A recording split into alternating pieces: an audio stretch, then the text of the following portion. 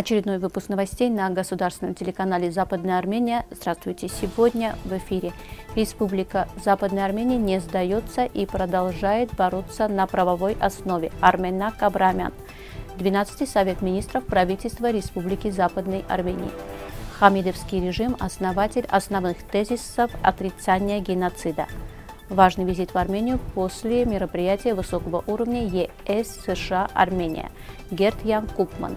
Новости Джавахка. В театральном день ознаменовали танцевальным флешмобом. Республика Западная Армения не сдается и продолжает бороться на правовой основе. Многие спрашивают меня, кто стоит за тобой, на что я отвечаю. За моей спиной 2 миллиона жертв.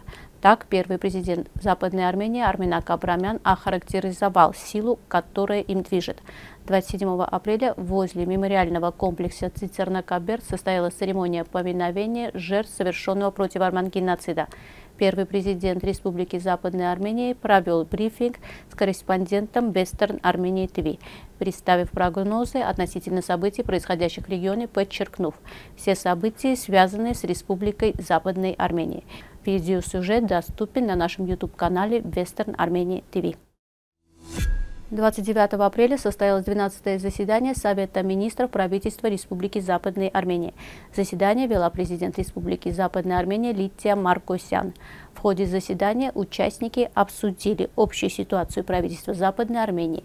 Члены правительства Республики Западной Армении выступили с речью, представив проделанную работу касательно поминальных церемоний, посвященной 109-й годовщине геноцида в отношении армян.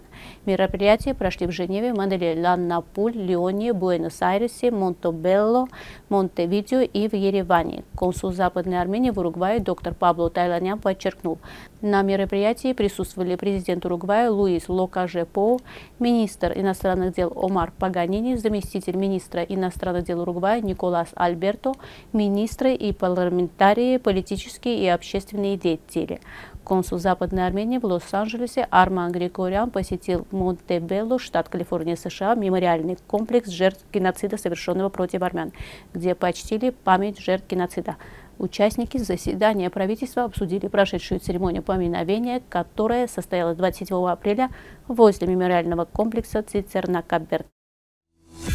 Отрицание совершенного против армян геноцида в своей форме и многообразии часто служило примером для разработки и осуществления политики отрицания других последующих геноцидов. Как отмечает профессор социологии Стэнли Коин, наиболее очевидной попыткой скрыть факт прошлых преступлений является попытка турецкого правительства. Произошедшие события зафиксированы в османских источниках в дипломатических отчетах того времени, свидетельствах выживших в дальнейшем в историографии исторических исследованиях. Истины, которые в то время были очевидны и находились в центре внимания международного сообщества, превратились в предположения, слухи и неопределенность. Вначале существовавшее отрицание стало частью коллективной культуры Турции. Далее постепенно стало преобладать за ее пределами. Отрицание совершенного против армян геноцида всегда было составной частью внутренней и внешней политики турецких властей турецкие правительства полагались на насилие как на наиболее эффективный способ решения внутренних проблем, что в свою очередь вызвало дополнительные опасения. Существовала вероятность, что те, кто подвергается насилию, прибегнут к возможному сопротивлению, самообороне или борьбе за освобождение от репрессий. Наряду с этим всегда существовал страх перед возможным вмешательством внешнего мира или применением принуждения к проведению реформ в стране периодически возникал страх под внешним давлением потерять территории. Важный визит в Восточную Армению после состоявшегося 5 апреля мероприятия высокого уровня ЕС США Армения. Об этом в микроблоге X написал генеральный директор Европейской комиссии по вопросам соседства и переговорам по расширению Герт Ян Купман. На встрече с рядом представителей Восточной Армении я рассчитываю обсудить приоритеты более тесного сотрудничества между Европой и Арменией, также определить возможности для стабильности и роста в рамках нашей новой программы, отметил чиновник. Джавахке установит 40 камер наблюдения. Новые камеры появятся в Джавахке и в селах. Мерия Джавахка объявила электронный тендер на приобретение и установку 40 камер стоимостью 24 070 лари. Тендер объявлен с 8 по 16 апреля. Камеры будут установлены в течение 40 календарных дней с момента подписания контракта.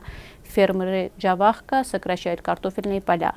В Джавахе стартовал сезон посева картофеля. Из-за неудачной реализации урожая прошлого года некоторые фермеры сократили картофельные поля. Инок Бабаджанян из села Мурджахет сократил посевные площади картофеля на 1 гектар. В 2023 году в Джавахе было посеяно 10 918 гектаров картофеля. Собрано 223 148 тонн урожая. В 2023 году по сравнению с 2022 годом посевные площади картофеля увеличились. В 2022 году посеяно 10 775 гектаров земли, получено 169 120 тонн урожая. Как статистика изменится в 2024 году, станет ясно в конце года и начале 2025 года. Подробности читайте на нашем сайте Western Armenia TV. 29 апреля во всем мире отмечается Международный день танца. Праздник был отмечен танцевальным флешмобом в Ереванском государственном институте театра и кино. Инициатива принадлежит кафедре хореографии. Танцевальный флешмоб был посвящен светлой памяти преподавателя, основателя и художественного руководителя ансамбля традиционной песни и танца «Карин», заслуженного деятеля культуры Восточной Армении Гагика Геносяна. К студентам также присоединились представители профессорско-административного состава во главе с ректором университета Сарой Налбандян. И в завершении новостей послушаем произведение Комитаса в исполнении Сергея Хачатряна.